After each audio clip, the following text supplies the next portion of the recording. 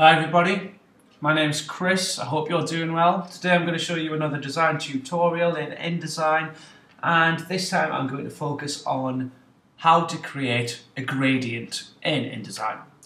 Um, I'm just going to skip through all of the, the formalities and say that you've already set up your document, you've got your settings as you like them and you just want to know how the gradient is made. So here we go. I'm just going to make a quick rectangle.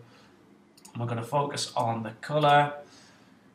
So I'm just going to bring up, let's say we want a nice turquoisey green. Let's hit OK. There we go. There's your basic shape. How on earth do I turn this into a colour, well, how do I turn this into a shape that has a colour gradient? I'm going to show you what you do is you highlight if you go to colour, if you don't know where that is, you can always go to window and find your colour, click colour and your panel will come up here. I'm going to add that to my swatches. So then as we go to our swatches panel, you can see my nice turquoisey green is sitting in my swatch library.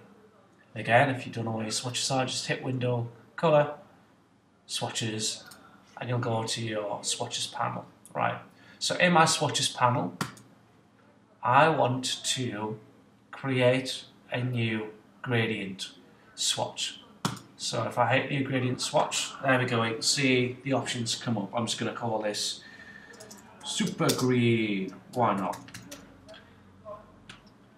Type linear, let's stick with linear for now and I can show you radial in a second. Now, see this slider on the bottom is where it is all at. You want to click on one of the little anchors on the bottom there. If I click that, you'll see that the colour panel then fills up.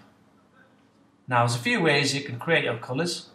Um, I'm just going to go to the swatch that I already made. Boom, there's my lovely green. And you'll see that now this little anchor has turned to that lovely green.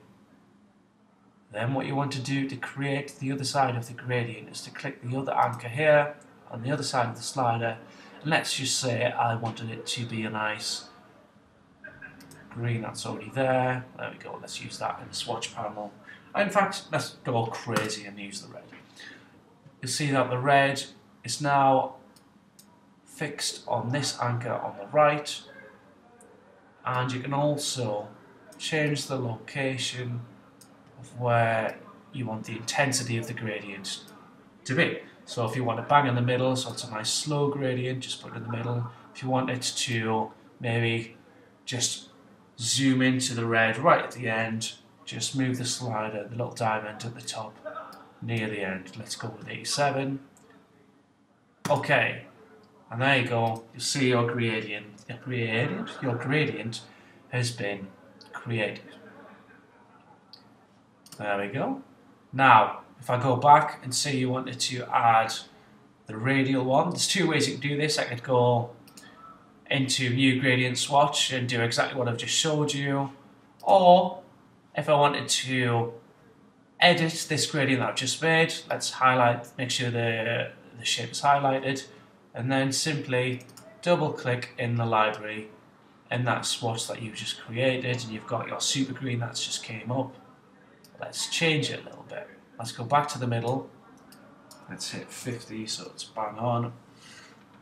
Change it to your radial and then hit OK. There we go. You'll see it's then gone into a radial gradient.